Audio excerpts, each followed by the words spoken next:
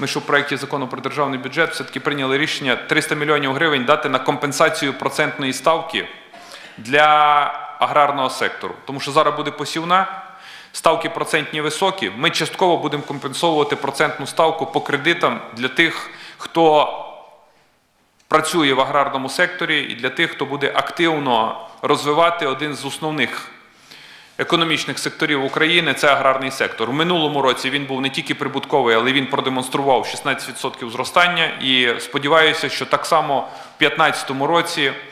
Одна з основ української економіки це аграрний сектор, буде демонструвати ріст, і уряд виділяє 300 мільйонів на компенсацію процентної ставки. Заробимо більше, дамо більше. Але от поки що на перший етап посівної 300 мільйонів це дасть можливість плюс-мінус до 5 мільярдів гривень залучити кредитів з е, суттєвою компенсацією процентів.